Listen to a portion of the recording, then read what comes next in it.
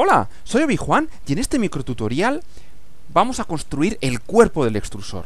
Aquí podéis ver todas las piezas que necesitamos para construir el cuerpo. No son las únicas piezas, eh, hay muchas que las podéis sustituir por otras, ¿no? Por ejemplo, estos tornillos de aquí, que yo los estoy utilizando con cabeza hexagonal porque son los que tenía aquí ahora en casa, pero podéis utilizar tornillos normales. Bueno, según lo vayamos montando os iré contando. Lo primero que hacemos es preparar el motor. Necesitáis un motor paso a paso, igual que el que hemos utilizado para la prusa, y con el eje aplanado. Lo aplanáis, como ya, ya hemos visto en otro tutorial. Luego los cables, yo aquí ya lo tengo preparado, he cortado los cables y he dejado una distancia de unos, unos 20 milímetros, eh, perdón, 200 milímetros, 20 centímetros, y le he puesto unos terminales para luego conectarlo con unas clemas. Si tenéis dudas, ahora de momento, si queréis, dejar el motor con sus cables originales. Pero luego, luego el cable tendréis que partirlo porque... Para que os llegue a, la electrónica. O sea, no, el, cable entero no os va a llegar, posiblemente tendráis que extenderlo o, si no, cortarlo. Yo me gusta dividirlo así en dos partes para poderlo, para poder luego desconectar el extrusor del resto de la impresora. Pues lo primero que vamos a hacer es que le vamos a poner el eje pequeño. Le ponéis un tornillo de métrica 3 y entre 6 y 8 milímetros de longitud y se lo ponéis en el eje, ya como siempre, con el tornillo apuntando hacia la parte plana. Y esto lo introducís y lo lleváis casi, casi hasta el final. Que se quede aproximadamente así. Luego esto ya lo podremos regular lo podemos regular. Y lo apretáis. Lo apretáis un poquillo con el destornillador. Lo apretáis. Ya lo tengo apretado. Conviene que lo apretáis bastante porque este motor sí que tiene que hacer fuerza. Tiene que hacer más fuerza que el resto de los motores. Entonces este conviene que esté, que esté ahí bien apretado.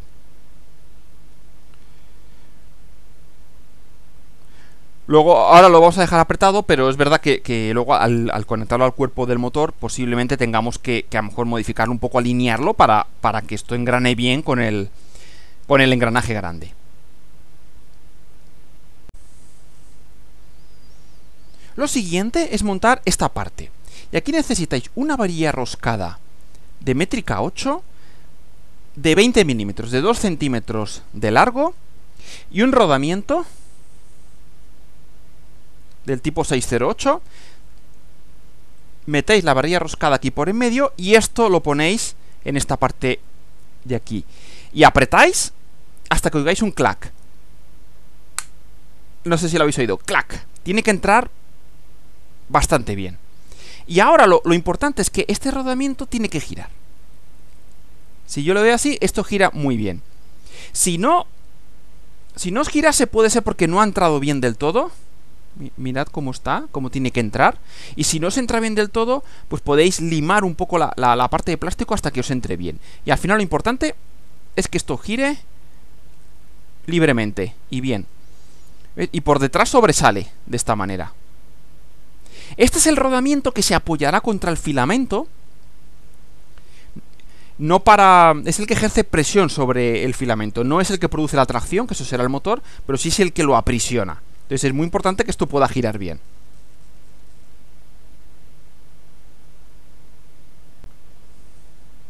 Mira, una prueba que acabo de, descubrir ahora que podéis hacer para ver si funciona bien es la prueba del cochecito. Moverlo, así como, como un cochecito tiene, tiene que ser capaz de rodar. De rodar así, así bien y suavemente.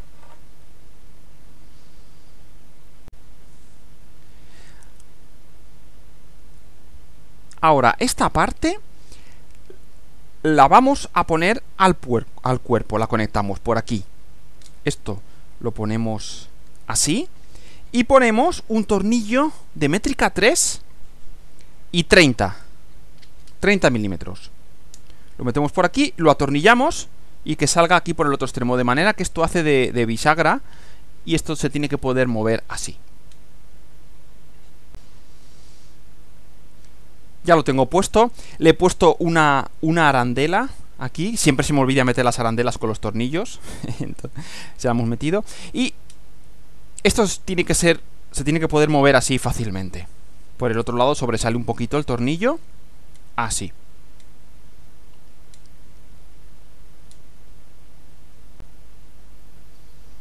Ahora tomáis el tornillo que tengáis con, con vuestra muesca, el Hobbit Bolt o Hobbit Bolt, estos hay de muy diferentes tipos, según donde lo hayáis comprado. El que yo tengo es este, tiene una cabeza hexagonal, es un tornillo métrica 8, que tiene aquí los dientes.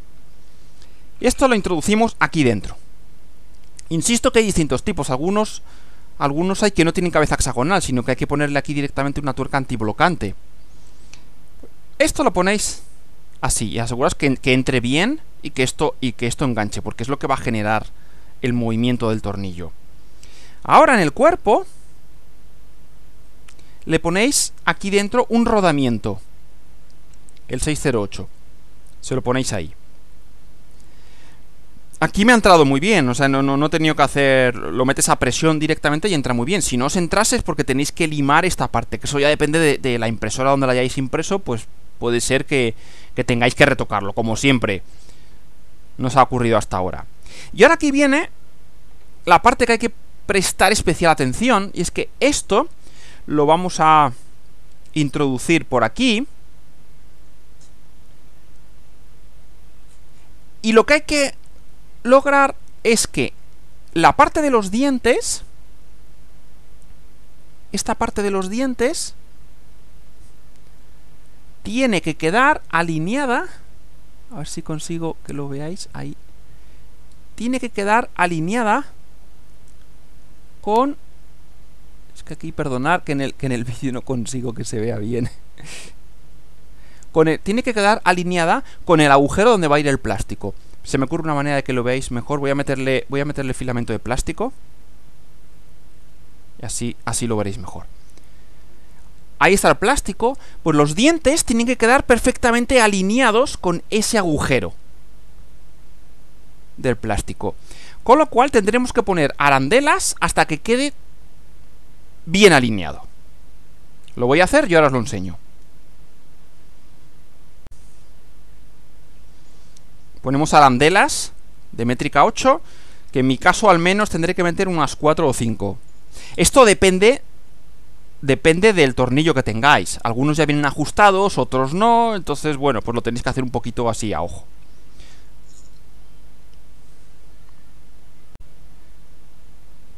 Pues ahí lo tengo ya más o menos alineado. Le he tenido que meter al final cuatro tuercas. Con cuatro tuercas ha sido suficiente. Le he puesto ahí el plástico para que, para que lo veáis. Así. ¿Veis? Ahí está. Está alineado. Le ponemos otro rodamiento. Aquí por esta... Por este lado una arandela y dos tuercas. Ya para, para fijarlo. Una tuerca. Ahí la apretamos. tampoco la apretéis mucho porque esto tiene que girar. Tiene que ir suave. Tiene que girar así muy suave. Y luego otra tuerca aquí. Para que no se nos suelte esa tuerca de ahí. Luego ya, luego estas dos tuercas las apretamos entre ellas para que, para que no se suelten. Y al final lo importante es que os tiene que quedar esto así y tiene que girar así de fácil. ¿Veis? Muy fácil. No le tiene que costar prácticamente nada girar. Es esto lo importante. Tiene que ir muy bien, muy bien, muy bien y muy sueltecillo ahí.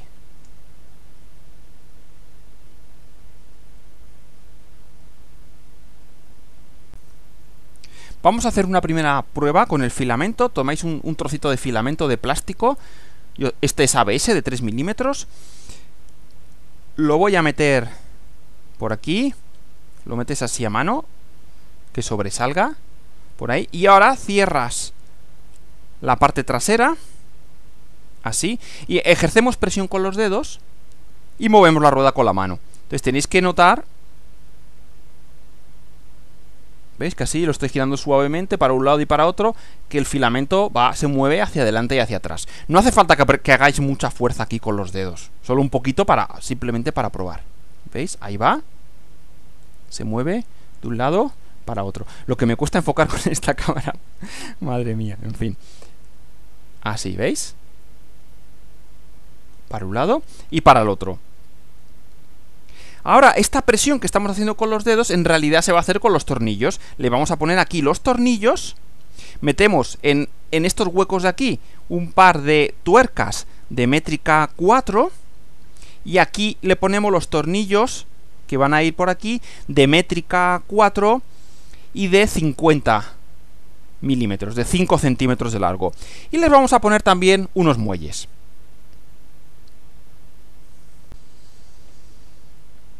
Ya tengo puestos los, tornillos, ¿veis? Ahí está. Los tornillos. Que aquí son de cabeza hexagonal, porque tengo pensado después hacer una pieza de plástico como, como simulando unas palomillas que van va a ir aquí incrustado para poderle dar yo vueltas así y apretarlo más fácilmente. Pero si tenéis tornillos de cabeza normal, o le podéis meter directamente unas palomillas de métrica 4, o, o, con, la, con, la, cabeza del destornillador lo, lo apretáis.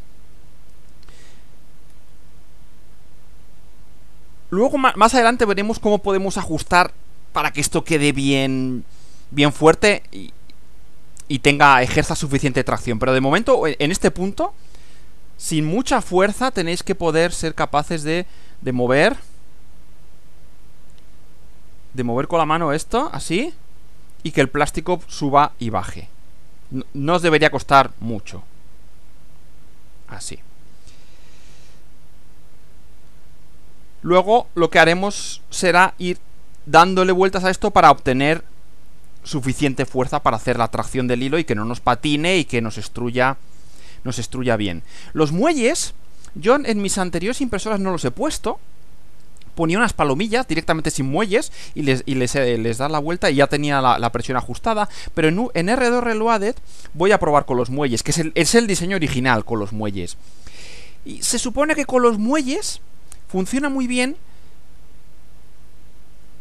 O sea, si muelles te funciona perfectamente, pero solo funciona bien si el diámetro del filamento de 3 milímetros es constante en el tiempo. Entonces, en ese caso, tú fijas la presión y va a ir muy bien. Sin embargo, la realidad es que muchos fabricantes hay pequeñas oscilaciones en el diámetro. A lo mejor en vez de ser de, de 3 es de 3, en unas zonas es de 2.8, en otras puede ser de 3.1, hay pequeños cambios.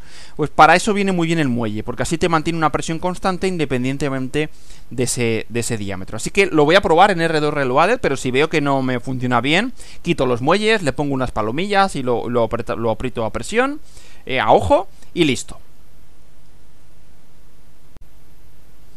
La última parte ahora ya es poner el motor. Y el motor se pone aquí.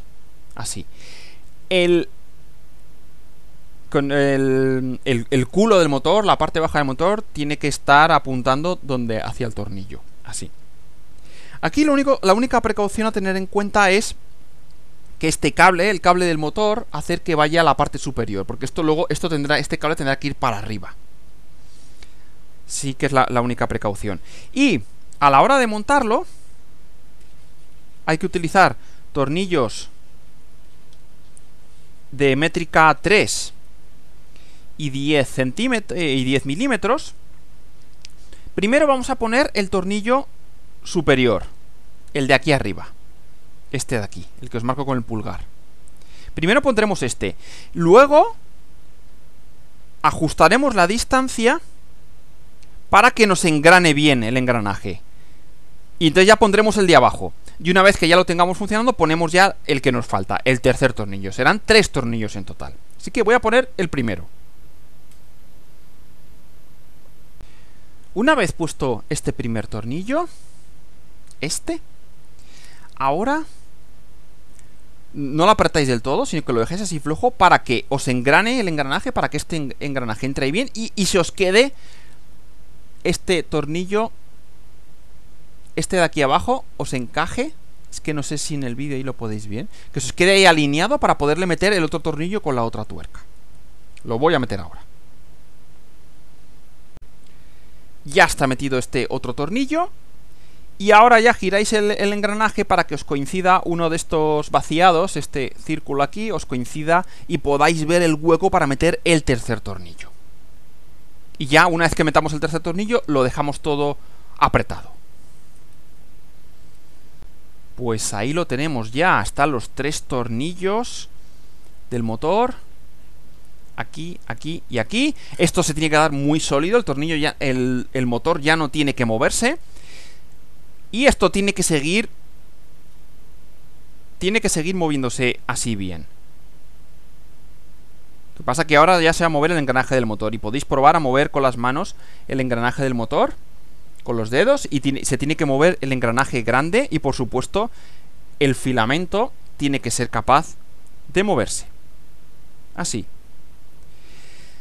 Pues ya tenemos el cuerpo del extrusor montado. Y si lo leéis, ¿a qué huele? Esto huele a que ya estamos acabando.